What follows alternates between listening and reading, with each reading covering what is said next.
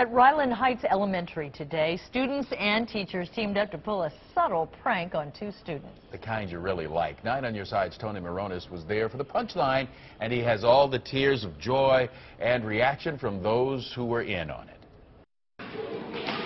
Teachers and administrators have the students here at Ryland Heights Elementary climbing the walls.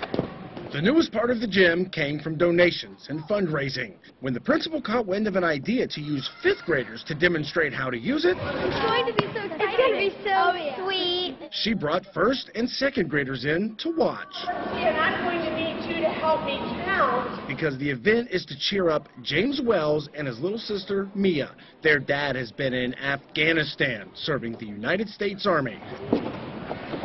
The fifth graders understand what that means. Kids don't get to see their dad if they go to Afghanistan. If I didn't get to see my dad, I would not be able to do anything without him.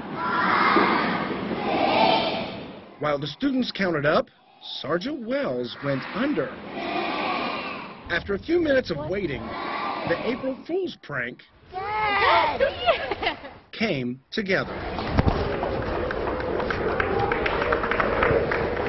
It's okay. I'm home. I'm home now, okay? Feel great.